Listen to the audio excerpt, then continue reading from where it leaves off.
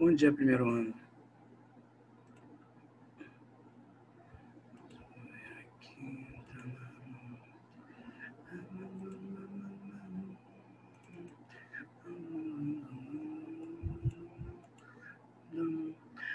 É, Rafael Cuba, você lembra onde que eu parei? Por favor, bom dia a todos. Breno, vocês lembram onde que eu parei? Era trovadorismo. Era trovadorismo, foi trovadorismo. Bom dia, bom dia.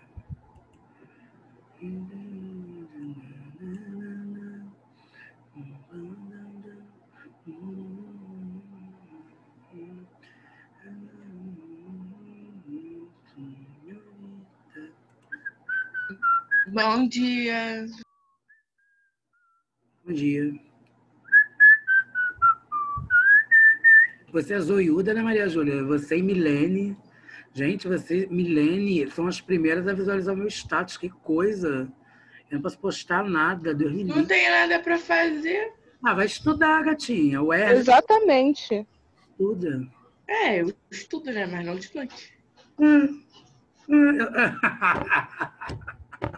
Ah. Bom dia, Gabriel. Tudo bem? Bom dia, Breno. Tudo bem? Eu, hein? Nunca vi um monte de gente fofoqueira. Ó, é... gente, onde que eu parei exatamente? Eu sei que eu iniciei privadorismo. Bom dia, Gabriel. Gabriel? Ué, Você tá vivo? Gabriel? Eu, hein?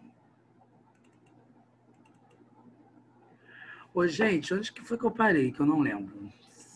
Calma eu vou ter que abrir meu planejamento, porque eu não lembro onde que eu parei. Aqui, eu lembro que eu falei de Fernando Pessoa. Todas as cartas já mostram, claro, como esse aqui eu lembro que eu falei. Né? Depois eu falei do gênero épico, também eu falei. Então a página 65 foi dada. Depois eu fui para trovadorismo, que eu lembro que eu perguntei para vocês qual era a matéria que a Jaqueline estava dando. E o Cuba me disse que era feudalismo, que coincide com o período literário que nós estamos estudando, que é trovadorismo, né? Porque isso aconteceu no feudalismo. Então, tá. Então, Cantiga de Amigo, eu lembro que eu li, né? Tradução literal. Ah, foi aqui onde eu comecei as perguntas e dei um ataque, que vocês não respondiam o que eu perguntava. Ah, tá. Não. Poesia palaciana, eu também cheguei a dar, né? Na verdade, onde eu comecei fazendo maluco com vocês foi aqui, foi por aqui que eu perguntei alguma coisa e vocês não queriam me responder. Eu acho que foi aqui na página 70. Eu não lembro exatamente a questão. Quem está falando comigo essa hora? Por que as pessoas querem falar comigo assim? Sabem que eu trabalho, meu Deus. As pessoas acham que eu devo estar fazendo o que agora? Devo estar assistindo a Ana Maria Braga, sei lá. É, Alguém sabe exatamente onde eu parei? Breno e, e Rafael, você sabe exatamente onde eu parei? Fizemos 68. Sim, Breno. Exatamente não. Calma aí, que eu vou ter que ver meu planejamento aqui, porque eu não lembro onde eu parei, porque eu anoto. Eu acabo de dar aula para vocês, eu anoto. Como é documentos, primeiro ano, primeiro ano, literatura. Primeiro ano, literatura. Isso foi no dia 25 do 8, que foi a última aula que eu dei para eles, né? Porque hoje é dia 1 Gente, setembro, hein? Setembro. 60 Ué, só 17. Tem uma coisa doida aqui, vamos lá. Breno tá falando que fizemos 68, sim. Nós fizemos, né? Então.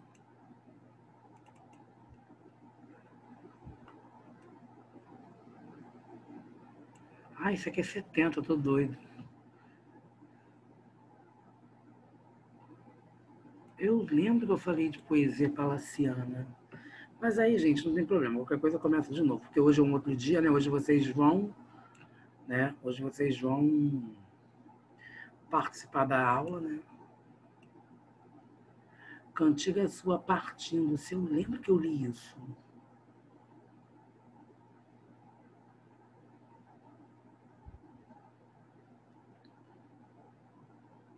O, o Breno, o Rafael, Thaís, é... Rafael Joia, é Davi, Ana Beatriz, Natália. Vocês lembram dessa página aqui? Eu cheguei a falar dessa página 70, porque eu acho que eu fui além. Eu anotei uma coisa, mas eu fui além. É, né, eu também acho isso, Breno, que nós iríamos iniciar 70. Essa é a minha dúvida. Então, olha só, vamos começar 70 de novo, né? E aí. Para. E nós vamos. Toda hora que ele está vendo isso, gente, porque é coisa de coordenação. Cadê? Ah, tá. Tá, tá, tá, tá, tá. Então, olha só, gente. Página 70, né? Cantigas. Cantiga sua partindo-se. Senhora, partem tão tristes meus olhos por vós, meu bem, que nunca tão triste vistes ou que nenhum por ninguém. Tão tristes, tão saudosos, tão doentes da partida. Tão cansados, tão chorosos da morte mais desejosos, cem mil vezes que da vida partem tão tristes, os tristes estão fora de esperar bem, que nunca tão tristes vistos outros nenhums por ninguém. Não vi nenhum, não vi nenhuma pessoa por ninguém. Bacana. Bom dia, Elizabeth. Breno, você é tão elegante, filho. Não estou lembrando da antiga, mas aí eu já não tenho um argumento concreto. Meu filho está no primeiro ano. Se bem que você está mais para a de Elizabeth. É...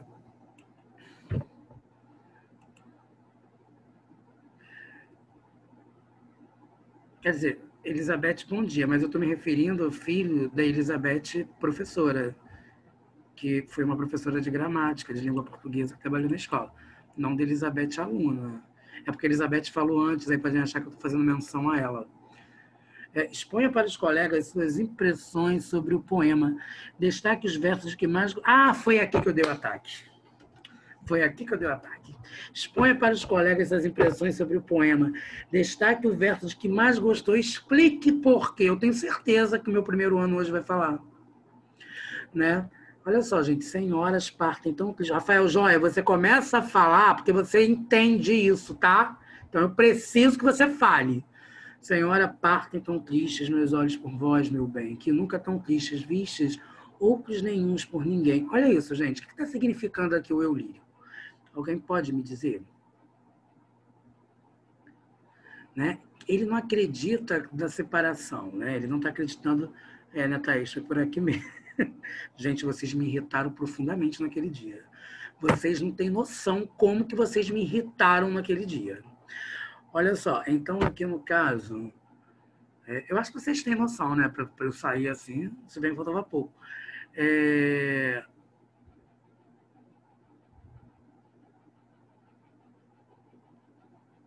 Quando fala assim, ó, Senhora, partem tão triste, meus olhos por vós, meu bem, que nunca tão triste vistes, outros nenhum por ninguém. Gente, o que, é que vocês estão entendendo disso aqui? Nada, Thaís. Imagina, meu anjo. Você participa. Quando você não fala é porque você não está entendendo. Eu acho que ele estava... Sim, ele estava triste pela partida. Né? Ele estava triste pela partida, porque o eu lírico acha que a partida é sempre para sempre. Né? O medo, quando a gente gosta, a gente tem medo de perder alguém, não tem? Vocês já gostaram de alguém, já? Ou não? Já se apaixonaram alguma vez? personagem é, possui um sentimento negativo. Coisa... Sim, Breno. No caso, melancolia, né? Tristeza. Já, né, Rafael? Já, Thaís. Então, Milene. Não...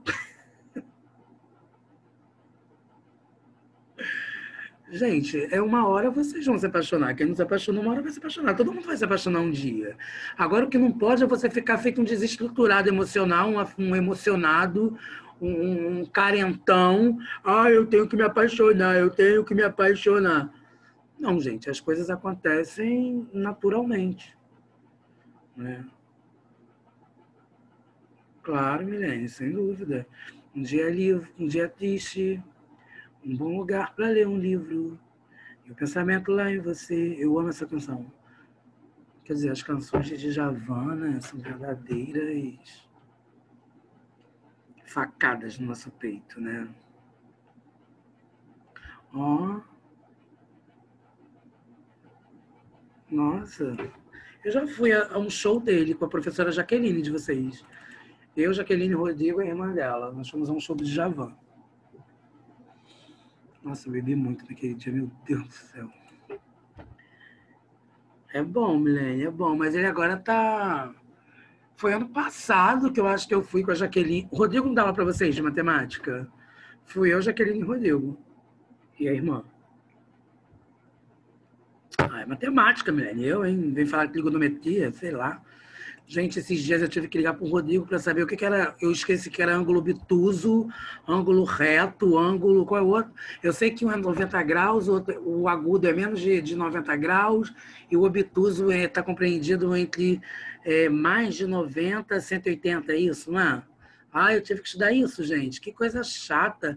É, não sei o que, perpendiculares, paralelos. Tá, vamos voltar aqui para a aula, que a gente está fugindo da aula.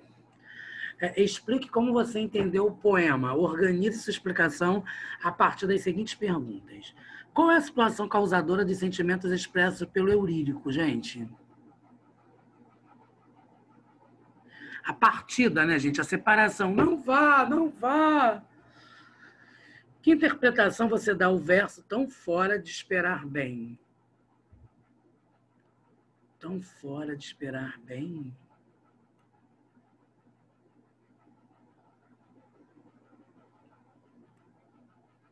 Então vamos lá, né? É, ele não acredita que a separação seja apenas temporária. Na verdade, o verso traz a possibilidade de outra interpretação, que afeta o sentido de todo o texto. Na poesia medieval, a expressão fazer bem significa corresponder ao amor, e às vezes eufemismo por entregar-se a mulher fisicamente ao homem. Se dermos ao verso esse sentido, a partida pode ser interpretada como uma ruptura amorosa por não ter a mulher correspondido aos desejos do eu lírico. Ai, gente, é esquisito, né? Isso. Por mais que a gente saiba que a vida é feita de ciclos, sei lá, você deposita tanta esperança em alguém, né? Eu acho que não, Thaís. Eu acho que é o... não, é o contrário. Ele não esperava e ele sofre por algo que ele não esperava. Gente, sei lá, eu. Como é que eu vou explicar isso para vocês? É, pense em alguém que vocês amem muito e morre. Já aconteceu isso? Já viveram uma situação assim? Alguém que vocês amavam muito e faleceu?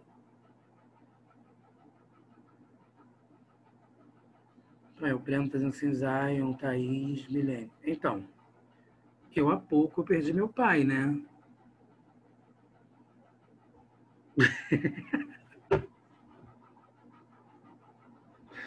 Rafael Cuba, por enquanto não. Então, por mais que você saiba que alguém morra, que alguém vai morrer, você no dia que perdeu, teve a notícia que essa pessoa que você amava se foi, você achou que você estava preparado para isso? Você não ficou mal? Ou você saiu, sei lá, soltando pipa, jogando videogame e foi comemorar sei lá, no McDonald's, foi comer um McDonald's. Então, é mais ou menos assim, gente, a perda de quando você gosta de alguém. Quando você gosta de alguém, chega, é, dói, dói muito. Às vezes uma palavra mal empregada, uma palavra mal colocada, uma atitude, às vezes a gente quer que a pessoa porque a gente agiria de uma forma, mas a pessoa que a gente ama, às vezes, não agiria daquele jeito. E aí a gente começa a ficar com raiva, porque a gente quer fazer com que a pessoa seja como nós seríamos. E não é assim que as coisas acontecem. Porque as pessoas são diferentes. Né? Então é isso que acontece, na verdade. É... Releitura. As questões a seguir foram formuladas para dirigir sua atenção para os recursos estilísticos utilizados pelo poeta. Ao final, releia o poema em voz alta, procurando enfatizar esses recursos e sentir a força expressiva do conjunto. Toda a linguagem e a expressividade desse poema organiza-se em torno de uma metonímia, ou mais especificamente de uma sinédoque. Identifique na primeira estrofe e escreva um pequeno comentário sobre ela. Eu acho que foi aqui, na verdade, que eu. É... Então, olha só, turma. Metonímia, sinédoque, metáfora, figuras de linguagem, né? É, são trabalhadas no capítulo 4 de gramática. Isso aqui nós já vimos. Então, olha só. Metonímia, parte, partem tão tristes meus olhos por vós. Quer dizer, os meus olhos, né, a parte pelo todo. Ao dizer que seus olhos partem, o sujeito lírico designa parte os olhos pelo todo. Ele lembram disso, gente? Eu coloquei uma prova de vocês, eu vou pedir a sua mão em casamento. Que aí eu até brinquei com vocês, mas isso significa o quê? Que eu só quero a mão? Que eu não quero o resto? Lembram disso? O efeito expressivo dessa sinédoque advém do fato do eu lírico concentrar-se ou resumir-se nos olhos no momento da despedida. Ele todo se tornou olhos. Quer dizer, eu só tenho olhos para você. E aí, da visão? E aí, Bia? Ah, eu amo Davi e Bia, gente. Casal mais lindo que eu conheço. Assim, de alunos meus namorando. Ele era um. Gente, Milene parece uma maluca. Eu tô falando de romantismo. Milene veio me falar de Pantera Negra. O que, que é isso? A Gabriele nem assiste minha aula, Milene. Eu não vejo Gabriele assistindo minha aula. Gabriele assiste minha aula, gente.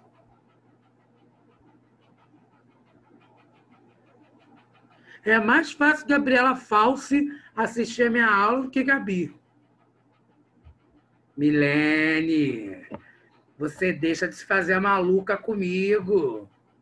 Não, Rafael, ela é da turma, mas eu não vejo a Gabriela aqui, não. Gabriele aqui, não.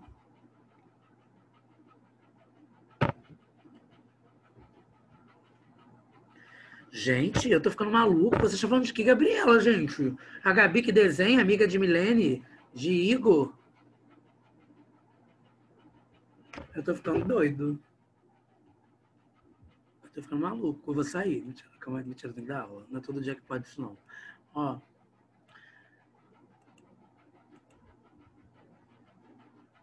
Eu já entendi, Milene. Eu não sou retardado. Eu compreendo palavras. Eu li.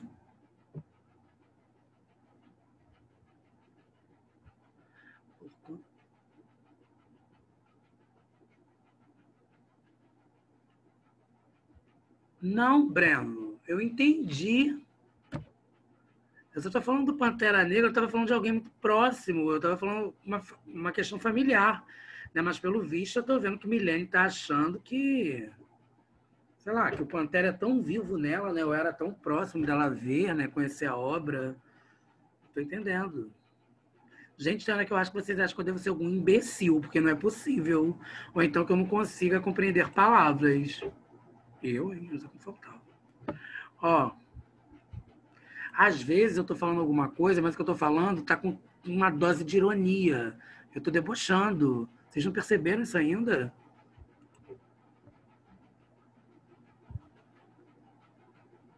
Gente, vocês estão parecendo que estão bêbados, eu, hein? Na segunda estrofe, é uma longa amplificação da tristeza, que culmina em uma hipérbole. Turma, vocês lembram que hipérbole é um exagero, né? Também é uma figura de linguagem. Então, olha só. No caso aqui, quais são os adjetivos enumerados na amplificação? Então, ó, tristes, saudosos, doentes, cansados, chorosos e desejosos. Quem mais fala na minha aula é o Robson. Nossa, quem que o Robson fala? B. Qual palavra, já tendo Robson Tiago Tiago, qual palavra já tendo aparecido em versos anteriores é repetida insistentemente nessa estrofe? Classifique-a gramaticalmente. É a palavra tão, né, gente? Tão, no caso, é advérbio. É advérbio de intensidade. C. Identifique os versos que apresentam hipérbole e reescreva-os em ordem sintática direta cem mil vezes mais desejosos da morte que da vida.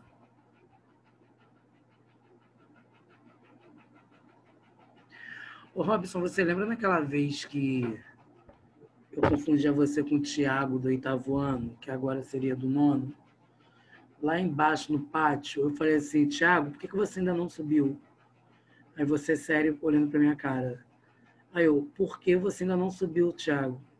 Aí você, Robson, sério, olhando para minha cara. Aí depois que eu, que a minha ficha caiu, que você não era o Thiago, você era o Robson. Você lembra disso, Robson? Gente, um recreio, vocês com aquela turma, oitavo ano, que é o nono, agora gritando naquele recreio, correndo, eu não sei o que era aquilo, vocês. Aí eu fui, por que vocês não subiram? Thiago, por que você não subiu? Lembra, Cuba, disso? O Robson, sério, olhando pra minha cara, Robson demonstrando na minha cara. Tipo, professor, eu não sou o Thiago. Ai, mas eu ri tanto daquela história depois na sala dos professores, com os professores de vocês. Gente, eu chamei o Robson de Thiago. Aí ninguém entendeu nada, né? Soneto, busque. Gente, um soneto. Vamos lembrar o que é soneto aí, ó. Soneto é um poema como Cuba. V vamos lá. Vamos, Breno. Vamos, Ion. Vamos, Davi. Tem que fazer soneto para a Beatriz para depois eu corrigir se está certo. Mentira, isso é muito pessoal. Soneto é um poema com quatro estrofes. Lembram disso? Quatro estrofes. Sendo que as duas primeiras são quartetos. Quartetos, como o nome já diz, prefixo, versos de quatro. E as duas últimas são tercetos, que, como o prefixo também já diz, versos com estrofe com três versos. Não, Milene, eu acredito que não. Você toca, Milene?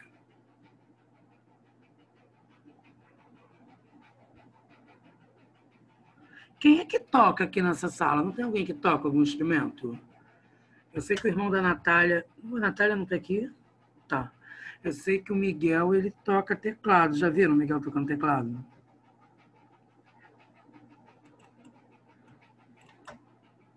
Parece que o Luiz Eduardo também do segundo ano, eu acho que ele toca. É... Eu não sei se é bateria, se é guitarra, gente. Não tem uma coisa dessa?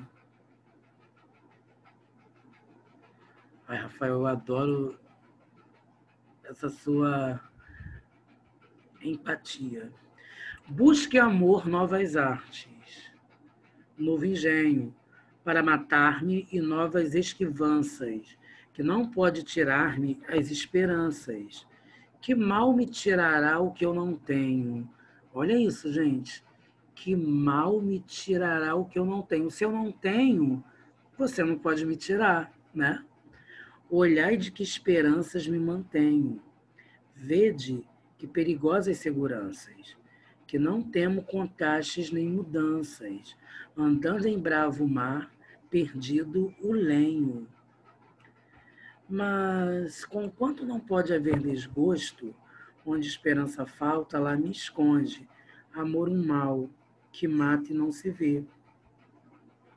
Que dias a que Nalma me tem posto, um não sei que, que nasce não sei onde, vem não sei como e dói não sei porquê.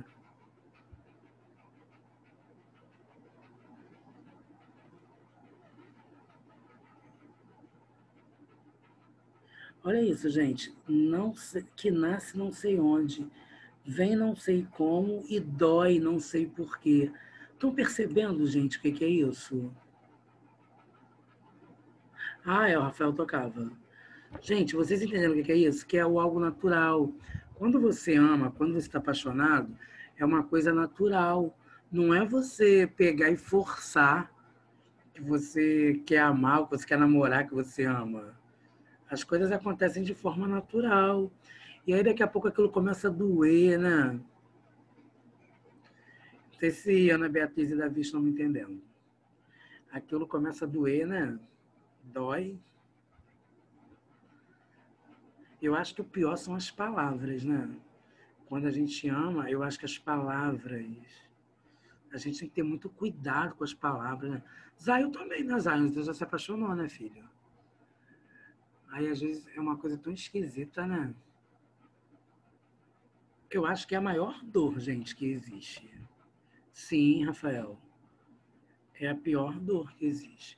Porque dor de dente, uma hora ela vai doer, a gente vai tomar um remédio e vai passar. Agora, a dor de amar só é cicatrizada é só com o tempo e demora muito. Estou fogo no inferno. Não, Milênio. Não. Por que tem a ver o que a gente está falando? Ah, uma hora você vai se apaixonar, Elizabeth. Todos nós vamos nos apaixonar. Claro que vai se apaixonar. Ainda mais vocês, já. Claro, pode.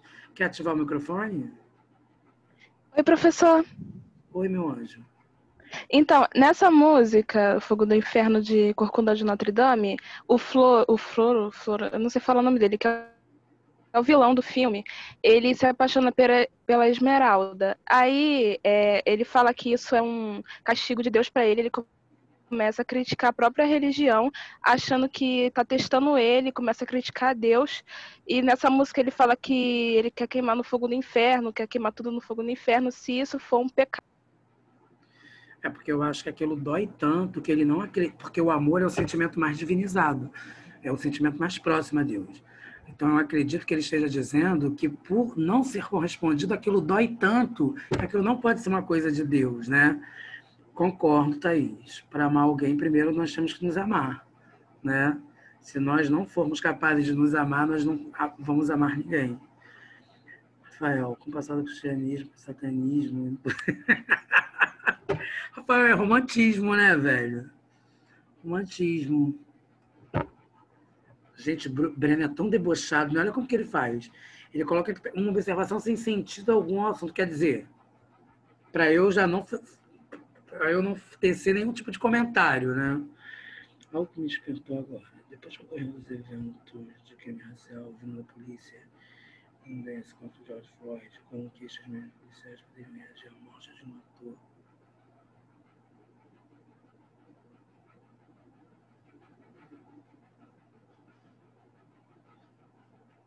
Sim, Breno. Perfeito, filho. Perfeito, perfeito, perfeito, perfeito, perfeito. Perfeito, perfeito. É, né? Gente, isso é. Isso dói, né, Breno? Isso é uma coisa que dói, gente. Eu acho que isso é um câncer. Isso é um verdadeiro câncer, né, Breno? Eu acho que o verdadeiro câncer não é a questão da, da das células, né? Eu acho que o câncer, na verdade, é ignorância, gente. Eu acho que a ignorância é o câncer. É o... A gente pode usar essa metáfora, né? A ignorância é o câncer. É um câncer, gente. Sim, Breno é elegante, né? Eu gosto do Breno. A forma que ele se posiciona. Você pode ser o melhor do mundo. Sempre vai ter alguém. Sim, Thaís, né? Gente, a prova disso são as festas de 15 anos, não é, turma? Sempre alguém vai reclamar. Gente, festa de 15 anos da Bia, né? Que lindo, né? Festa da Gabi. Festa de mais quem, gente, que eu fui de vocês? Festa da Giovana Sá. Festa da. De quem mais, gente? Eu fui mais festa.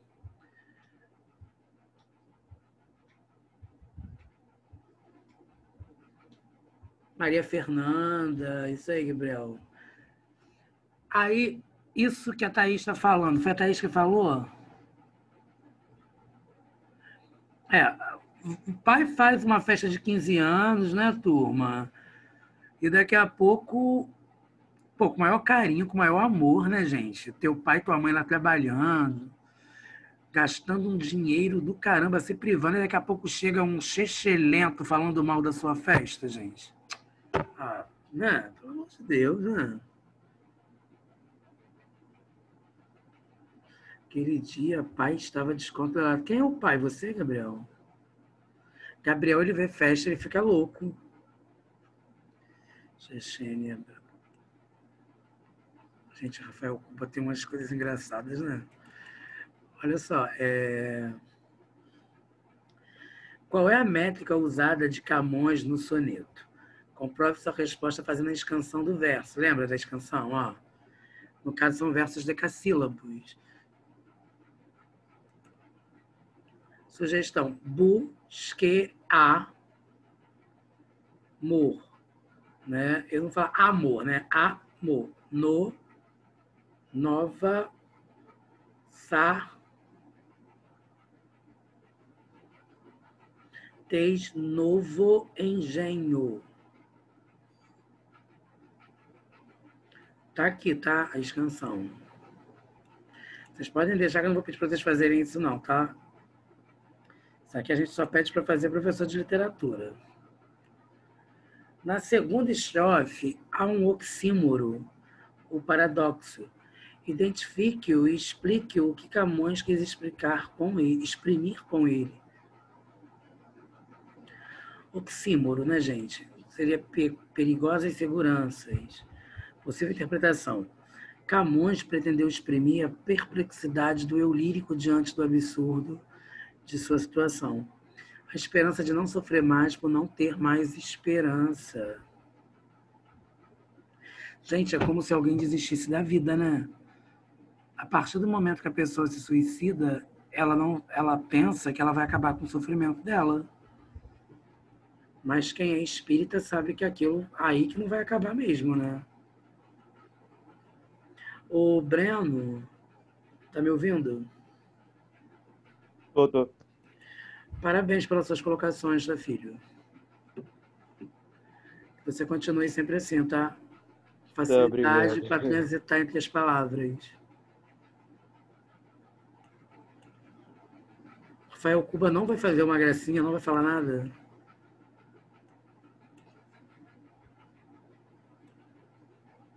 Quem me perguntou por você, Cuba, foi a Beth, professora de, de gramática.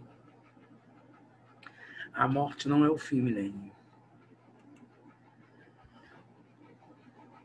No oitavo verso, o autor utiliza uma metáfora náutica, andando em bravo mar perdido lenho. Metáforas como essas são lugares comuns na poesia renascentista.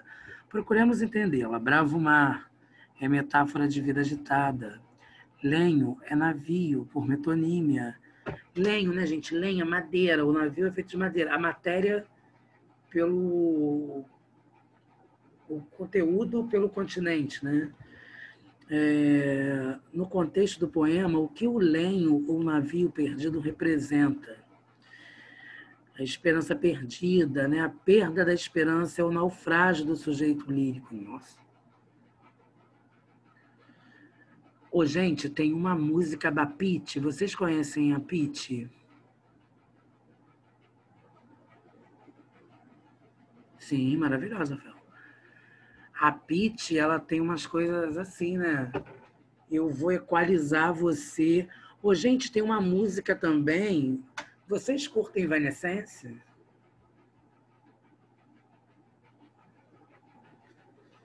Turma, vocês curtem Evanescence? Não?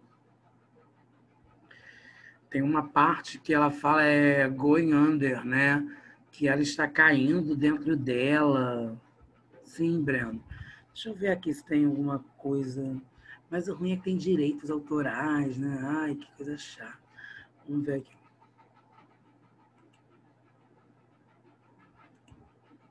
Eu queria que vocês ouvissem.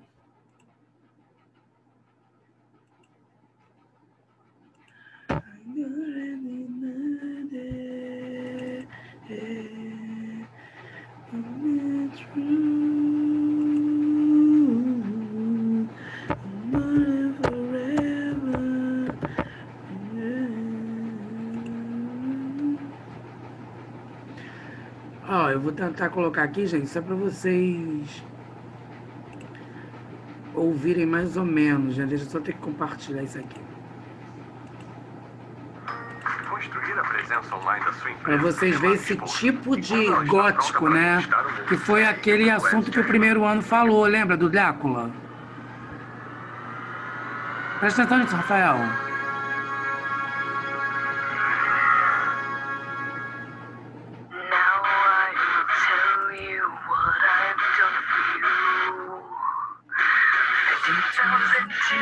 Now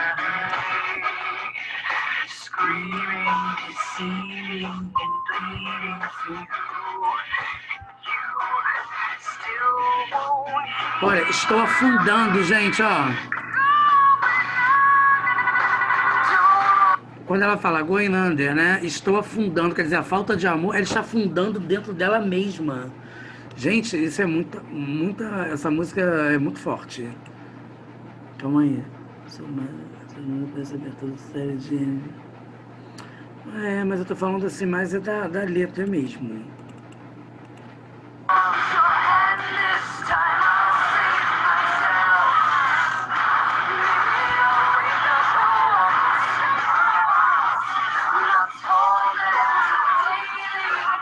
Olha, gente, derrotada por você, ó.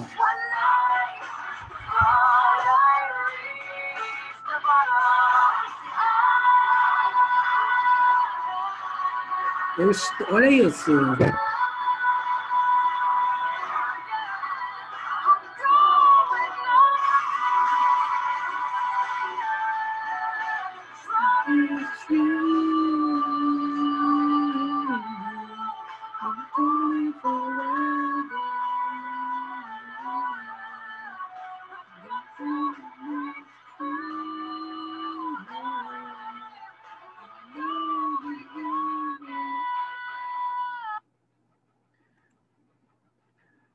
Gente, vocês viram mais ou menos aí quando ela fala que ela está afundando de novo? Né? Que ela está se acabando. Ah, Brings My Life. Também. Déjà vu.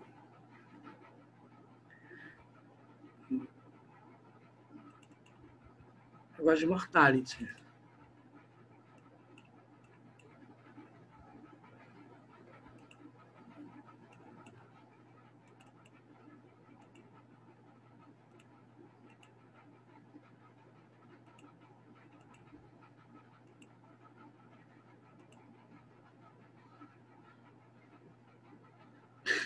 Gente, Milene quer matar todo mundo, eu, hein? Milene é diabólica. Ó. É grande a intensidade emocional desse soneto. Entretanto, Camões equilibra expressão do desespero amoroso com raciocínio. Lembre-se que o classicismo procura o equilíbrio entre razão e emoção, desenvolvendo um discurso em tese e antítese. Resuma a tese apresentada nos quartetos. Então, o pior mal que o amor poderia causar ao sujeito lírico seria tirar-lhe as esperanças. Como ele, já não, como ele já não as possui, nada mais deve temer. A antítese começa com a conjunção adversativa mas, resuma a contradição apresentada no primeiro terceto.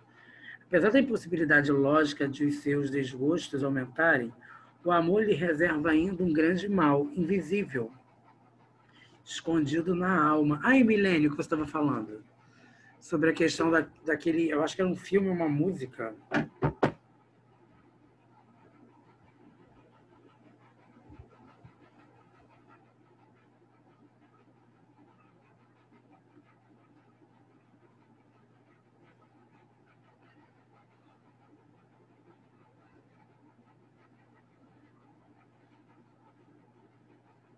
É, agora, a antítese começa com. é, já foi, né? O que conclui o sujeito lírico nos dois últimos versos do soneto? O sujeito lírico conclui que é incapaz de compreender o processo amoroso. Bem, gente, então foi a página 70 né, e 71, né?